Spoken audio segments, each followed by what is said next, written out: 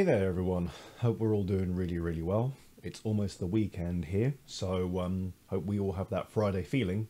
Although anyone in the UK probably doesn't, we've just had our our budget, our autumn budget, which was announced yesterday, and it's a very very very hard time for most people, most families out there. Um, I could go into a huge amount of detail on that, but the budget is vast. I might do some additional episodes breaking down certain elements from that and what the impact might be for people. Um, but for this episode, I wanted to talk about something that was announced not totally unexpected, but still could hit us in the pocket, and that is a tax on electric vehicles.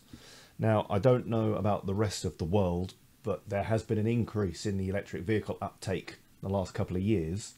Here in the UK, somewhere in the region of 10 to 20% new cars are now electric vehicles.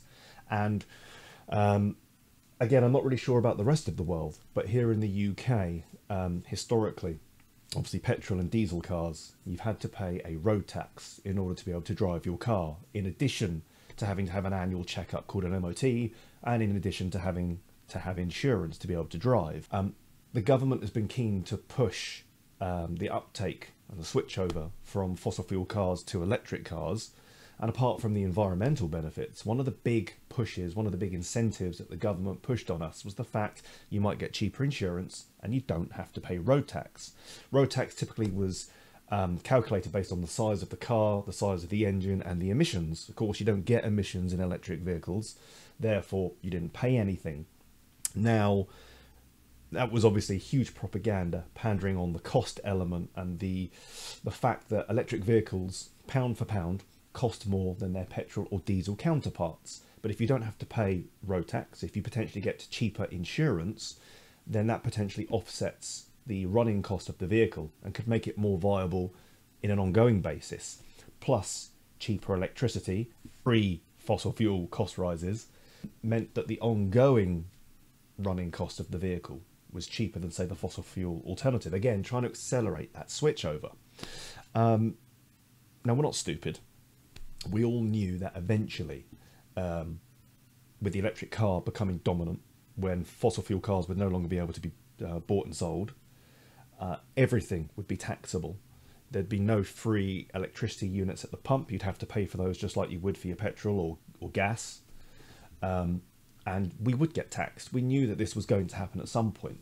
In the UK, the government makes billions from the road tax that they charge and the commission, which they call a fuel duty, on every unit of petrol or gas or diesel, they make billions. If you pay, uh, say, a pound, pound 50 at the pump, you're talking 80, 90, 95% of that going straight to the government. They're not going to lose that revenue. We knew at some point this was going to come in. But as I said earlier, where most UK manufacturers are saying that, say, 10, 15, 20% of their vehicle sales are electric or hybrid, the switchover for fossil fuel vehicles to hybrid or greener alternatives hasn't happened yet. So a lot of motoring groups are saying that this tax, this levy, is coming in far too soon and could actually act as a deterrent. It could delay all those plans that the government has been talking to us about. For example, they want to ban new uh, sales of vehicles which are fossil fuel by something like 2030, 2035, so that you can only buy a hybrid or only buy an electric only vehicle from that point on. Well, this looks like that's going to delay that because people are going to hold on to their cars for longer. This is probably going to slow the demand for buying electric vehicles. The other thing that this might affect is more of a longer term green initiative. The UK has signed up to various international charters about CO2 emissions, greenhouse gases, being greener, being cleaner, of which pollution from vehicles is a major con- contributing factor. If the delay in that switchover is affected, even by only a few years as a result of this, that will have ramifications. We're probably going to have some form of penalty, some form of financial repercussion if we don't adhere to those dates. Well, that's going to hit us in the pocket even more. So in the short term, anyone who's looking to buy an electric vehicle, you have to pay a premium to buy the vehicle.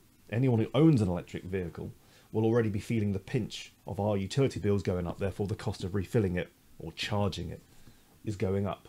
And now you're going to feel a third whammy, which is you have to pay a tax for it. Something that wouldn't have been budgeted when you made that switch over anyway. Um, again, I'm not really too sure how this might affect um, viewers and listeners overseas. I'm not sure if you guys have to pay a similar sort of duty or tax on your vehicles, but certainly over here, um, the cost of motoring is going up all the time based on energy prices going up. So this is just going to compound that even more. Whatever type of vehicle you have, there's going to be no reprieve. You know, we have annual inspections called the MOT. We have road tax, which is now going to be payable on any vehicle of any type. Insurance costs are going up as well. Whatever unit, whether it be charge or fuel that we need for our vehicles, is going up as well. Every motorist in any way, shape, or form is now being hit in the pocket. And as I say, the longer term repercussions are a slowing down or a detrimental effect or a delay to the switchover, the uptake from fossil fuel vehicles to electric vehicles. If this has a knock on effect for a wider, longer term plan, that's only going to affect us even more. Uh, the doom and gloom just doesn't look like it's going to go away anytime soon.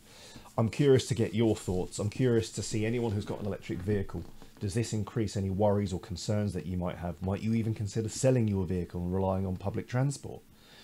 Anyone who owns a fossil fuel vehicle who was thinking about swapping for an electric, has this now put any form of doubt, worry, or delay into your mind? Are you going to hold on to your vehicles for longer? Are you now put off by the fact that the cost of the vehicles, which was always higher anyway, is now supplemented by no reduction in insurance costs? Now you have to pay a road tax as well. Does that affect your line of thinking at all?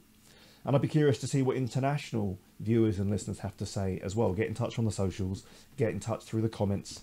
I'd love to know if you also have to pay premiums or taxes for the rights to own a cleaner vehicle. Um, let me know. Hopefully, hear from you guys soon. Take care.